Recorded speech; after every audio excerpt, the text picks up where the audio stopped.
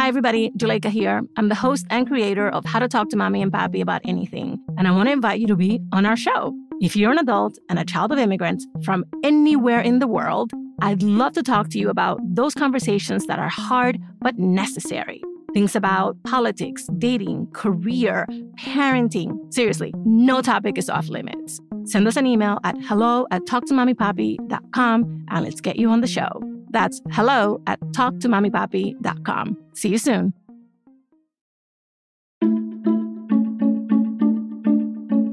Hi, everybody. We continue with our series about food and families. We've asked some of our teammates at LWC Studios to come on the show and share their experiences with their loved ones. We'll explore some of the tensions that come up around food and families during the holidays. And along the way, we'll get some guidance on how we can all cope. Today, I'm really excited to have Kojin on the show because he is our resident foodie. This dude can cook. Trust me, we've all enjoyed his cooking. And get this almost everyone in Kojin's Japanese family can really cook. For someone like me who loves food, that would be a dream during the holidays. But not for Kojin, whose family gets extremely competitive. And kitchen drama can often interfere with family celebrations. Let's get into it. My name is Kojin Toshiro, and I am an associate sound designer at LWC Studios. In podcasts, and I also uh, tend to produce other sound shows as well and documentaries. Honestly, I called my parents when I was little mama and papa. My family, they all cook. I'm Japanese, I'm from Tokyo. My father, he was actually the one that taught me how to cook first, and he was having me help out in the kitchen. So, me, my cousins, my parents, my grandparents, everybody, my aunt, they all cook. We immigrated back in 96, 97. So we didn't have a lot of money. So to save money, you know, instead of going out to eat, we had to cook. And my dad's always been interested in cooking. His uncle was a sushi chef as well at one point. Okay, so the you know the American holidays are pretty easygoing. We know what the menu is, especially Thanksgiving. You know, you got the turkey, you got the potatoes. It's very straightforward. Now, New Year's is a little bit different. If you haven't experienced Japanese New Year's, it's hard to kind of say, but there's a lot of over preparing intricate parts. So it becomes a little bit of a showdown. Our family, you know, besides our mothers, are mostly guys. We're all very competitive. But the problem is, we're also very passive aggressive about things too. We'll always try to compliment each other's dishes as much as possible, but you could just tell that there's a you're just waiting for uh, no, yours is better reply. We all secretly think that we're like the best cook. Our New Year's is very traditionally Japanese. So when something happens and the pettiness starts, sometimes it gets down to the, well, you know, like you're not from there or, you know, you're mostly American. So like you wouldn't get it type of thing. Then, you know, we're all getting older. So we're all maturing a little bit more. But back in the day, you know, when I was still in my early 20s, got in a lot of fights because uh, one time, uh, I remember this one specific time where it was a Japanese New Year's. So the traditional things that my father makes is this stewed chicken dish with burdock root and bamboo shoots. It's really, really good. And my father had brought a guest who is from Japan and, you know, was trying to, she was probably talking her up, you know, like, oh, like it's going to be a traditionally Japanese and to hyping it up because he likes to do that. And we got there and my aunt, which is my dad's sister, she brought uh my aunt, she's never had one year where she didn't make a artichoke and spinach dip, which is not very Japanese. she just started going off as in like, oh, I'm the only one that knows how to really cook the Japanese food and y'all are ruining this sacred moment and then we just got into a huge argument about it because you know my cousins are actually Japanese but they're born in America and my sister's born in America too. So it just became a whole nother fight and the ironic thing is, at the end of the night when we were all drunk, he was eating most of the food that other people prepared, not himself. So he ended up liking that food anyway. It's just how our family functions. We're petty and we fight over things. And a lot of the times we just get together and cook in the same kitchen. And we talk trash per usual. You know, we'll be cooking and I'm guilty myself. I sometimes will see something and be like, hey, you're not doing it right. And then they'll be like, no, it's in the book. I'm like, yeah, but you should do this. And then she's like, no, like I'll do it. And I'm like, you're not doing that right. And then, you know, my mom or aunt will end up being like, well, fine, do it yourself then. I'm like, okay, okay, I will. It's a lot of um side note correcting that happens.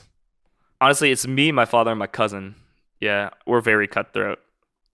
My father is just very competitive, but also he does know how to do his stuff. So it's like everybody's trying to like, including myself, because I'm you know his oldest son. So it's kind of like everybody's trying to get his approval in a sense. You know what I mean? We'll be talking and someone will be complimenting my dish and be like, hey, this is really good. And they'll say something like, well, you know, it's not the most traditional thing, but it's delicious. And then I'll be like, well, I mean, if I was going to cook your dish traditionally, I would use this and this. So I guess we're both not too traditional. From there, it just like spirals. You know, we I think what it is is we all take food personally. Like um, we all have a way we want to fit in, and we have that one dish or that one thing that we're cooking, and we get emotional about it because we feel like if somebody says something about our food, it's like you know saying something personal about us every now and then it gets intense to shouting matches sometimes, especially when we have a little alcohol in us. Kojin's story, not surprisingly, made me laugh. He's a funny guy, but I also feel for him and for his family. Part of the reason for the competitiveness seems to be that everyone cares a little too much. Food is important to them as a family, so every detail matters.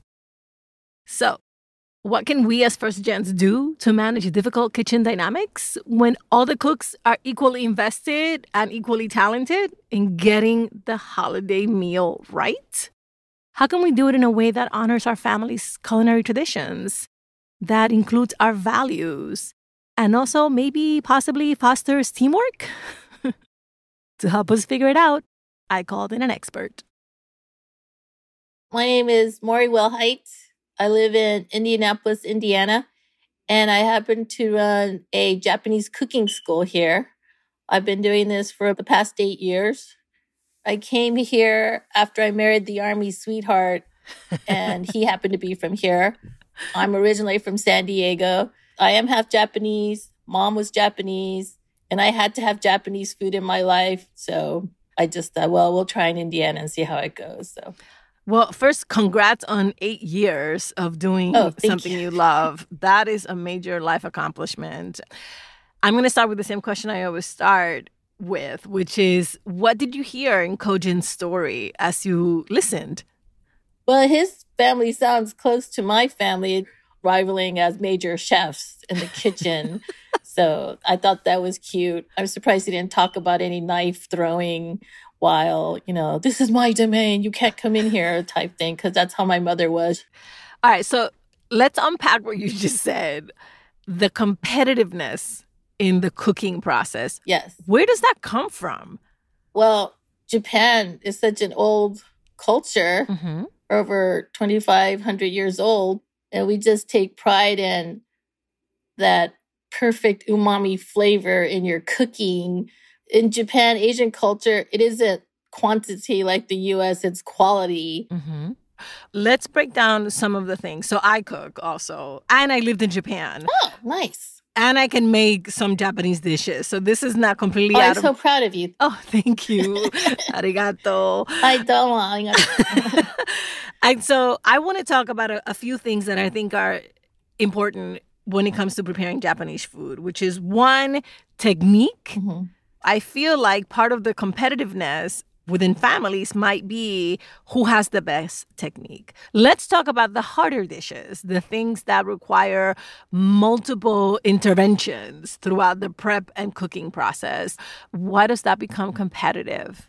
There is a popular theory in Japan that Japanese food is popular all over the world, but to replicate the taste, not only the taste, the look, presentation as well, mm-hmm. and getting the right or close enough ingredient has been the challenge. Mm-hmm. One of the longer recipes I know or time consuming ones are osechi ryori, the New Year's meals, the most important holiday in Japan aside from the emperor's birthday. And you're supposed to make it to last three days so that even the housewife, busy housewife, could be joining with family activities for the New Year's. So a lot of that, you have to get the right ingredients to prepare it as close to what grandma or mom did back in Japan. Mm-hmm. That's the competition. How close can you be with our traditional family taste? Some people get that crazy, like my mom. So, okay. Let's talk a little bit about the difference that people perceive and experience between being quote unquote born and raised back home and being quote unquote American. How do those two things show up when people are talking about how they meal prep and bringing signature dishes to family gatherings? You've been to Japan. Yep. You know how big a Japanese kitchen is. It's a closet. so that's where they have to be organized and neat because they don't have all this elbow room that us Americans require. Even the way you cut and the mess, you know, my mom would tell me if you have to destroy half the kitchen just to make this dish. Mm-hmm. When I started my cooking school, I try to make it within reason. I was using real sake to add the umami flavor or whatever I was doing. And I let my mom, because I'm a good Asian daughter and didn't want to be chewed out, I wait till year two to let my mom show up. And I told her, please don't chew me out in front of paying guests. Wait till they're gone. I don't want them to think we're fighting. Because I'm not like that. I said, yes, you are, mother. Just wait till they leave before you start bashing me. So First thing she did, of course, she came in my kitchen and she looked at the sake I used. She goes, upgrade that. Don't go any lower than that. That's how my mother was in regards to cooking. Right. A $40 sake with her miso soup. So I go, Mom, I can't ask Americans to do that. I'm trying to get them started, not intimidated that they don't want to do Japanese cooking. And once they have a baseline with me, then they could go expand on other things.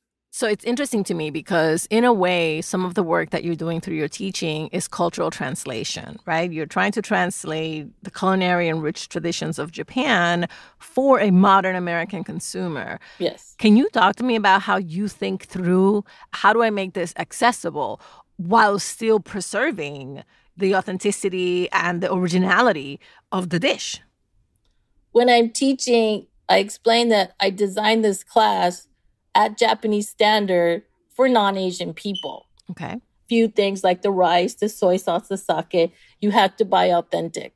You know, you could get regular salad or whatever, but the main core stuff and all the umami ingredients like the kombu, katsuobushi, you need that to be Japanese Japanese in order to replicate it and, you know, have it show up in your your meal. And then also I have the approach of I'm going to teach you just enough to be annoying at the sushi bar starting with the quality of the rice. They're often, I mean, if you approach it in this way, now they're looking for faults. Right. With the sushi chef. And I tell them, wait until after they fed you, not during to make any comments. That's just good life advice. just to be on the safe side and let them know I didn't taste the umami in the miso soup. All right, so let's talk about space because you brought up a really good point, which is that Japanese kitchens traditionally are very small. You don't really have room for two people to be in there making multiple dishes. And so it's very streamlined. In an American kitchen, which is typically larger and can accommodate multiple cooks at the same time, how do you recommend people sort of assign themselves roles when they're cooking for the holidays to avoid the competitiveness, to avoid the potential tension and the knife throwing that you mentioned earlier? to avoid bloodshed within the family, maybe have dibs on it. Well, I want to make the sashimi platter or I want to make the toshikoshi soba or whatever, you know, they could discuss it ahead of time. I mean, we could be civil about this. It's supposed to be celebratory.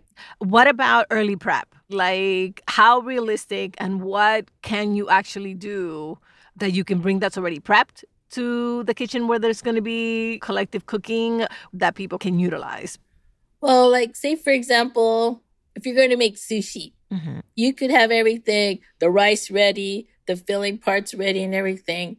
And you could take it in separate pieces and then assemble it at the kitchen or the dining table real quick mm-hmm. so it mm-hmm. could be presented at the table. Because the thing with Japanese food, fresh is best. Yes, of course. Like if they want sushi, making a sushi roll isn't practical all the time. So I switched to the hand rolls. Yeah. So it's the same proportion, but in different shape. Put everything and wrap it up in a cone and put it in a nice big plate and then just present it that way. That's the beauty with sashimi. It could be different shapes. Let's talk about the inevitable, which is the side eye, the criticism, the underhanded comments. Mm-hmm. As a teacher, what is your advice for people with sensitive hearts when it comes to handling what they might perceive as criticism from family members, especially folks who might be more skilled than they are? You know, Japan has that filial piety thing. You can't go telling off your elders the way you want. As I got older, I didn't really start talking back till I was almost, I'm 59. Mm-hmm. Well, mom, if you don't like it, you don't have to eat it. That kind of talk didn't happen till my 40s, but I'm more traditional. Kids today have a lot more leeway that I would have certainly been in trouble if I even spoke like that to my parents. But if you're having a family gathering, make sure you have everything ready so no one could criticize excuse you need one. Well, you know, in Japan, uh, they're having that transportation issue. I couldn't get it. it wasn't even available in the country. Oh my God, that's hilarious. All right, last question. Any other last minute survival tips for getting on with your competitive family in a holiday kitchen? If you want to keep peace, at least keep yourself out of trouble. Just watch them start arguing while you're helping grandma out on the side. Keep busy. I do a deflection. Yeah. Oh, grandma, do you need help? I'll massage your back. It's okay. I'll just sit right here, put grandma in front of me, massage her while everybody else, I'm massaging grandma. Keep me out of this. Right. You know, like that and stuff. And oh, I'm cleaning up go do whatever you want. So I just, if you're smart, stay out of it. That's my advice. I like that. Mori, thank you so, so much. You've been hilarious to talk to. Oh, thank you. All right. Here's what Mori taught us today assign roles.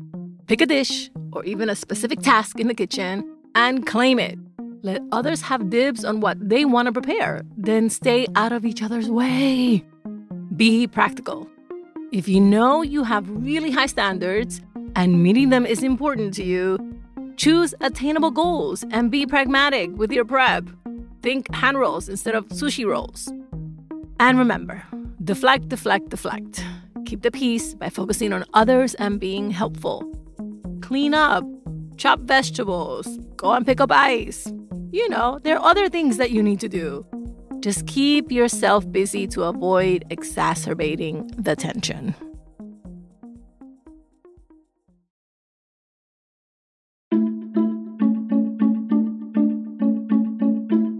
Thank you for listening and for sharing us. How to Talk to Mami and Papi About Anything is an original production of LWC Studios. Virginia Lora is the show's producer. Trent Lightburn makes this episode. I'm the creator and host, Juleyka Lantigua. On Twitter and Instagram, we're at Talk to Mami Papi. Bye, everybody. Same place next week.